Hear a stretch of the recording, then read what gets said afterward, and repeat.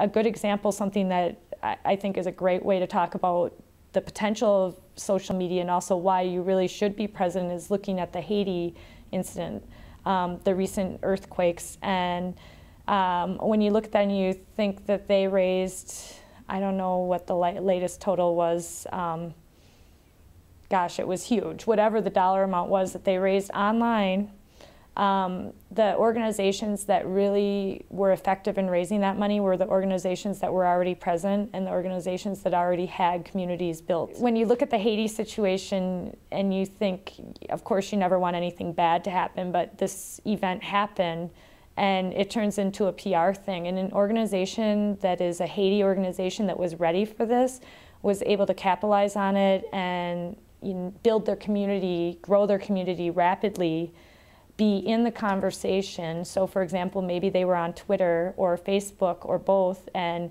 they they were finding all the people talking about it, getting them to join their network, um, and then bringing them, in essence, over to their organization website so that people could find different ways to give if you didn't want to just give to the Red Cross or some big organization.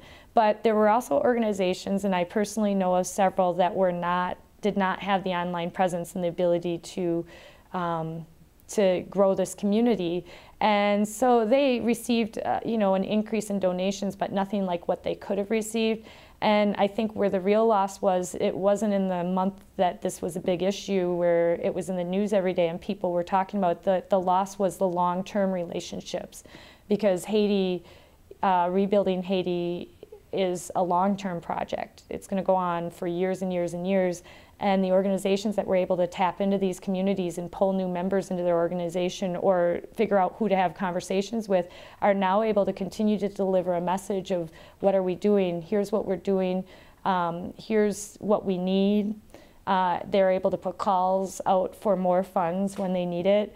And there's some really great organizations that I think lost out on that because they weren't present, they weren't capable of um, capitalizing on this. And it, you, you can look at a lot of nonprofits and think, well, when would there ever be that kind of PR thing that would um, pop up for them? You know, that's, that's kind of uh, a rare occurrence. And that may be true, but at the same time, if you're present and you're out there, even if it's a little blip on the news or something that pulls you into the limelight in your small community, you're able to then go out and talk with people and find out who cares about it and bring them into, you know, what you're building as a stronger community.